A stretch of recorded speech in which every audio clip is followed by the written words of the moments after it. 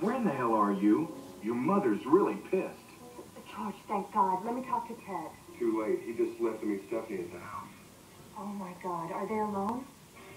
I hope so. George, I've got proof. Stephanie isn't who she says she is. Oh, here we go again. Why don't you just come over here and... Listen, you dumb son of a bitch. Stephanie is murdering people. You listen. To hear with this shit. Stephanie is not going to kill anyone. Okay? Let's say she's not. Let's say I'm going to kill Stephanie.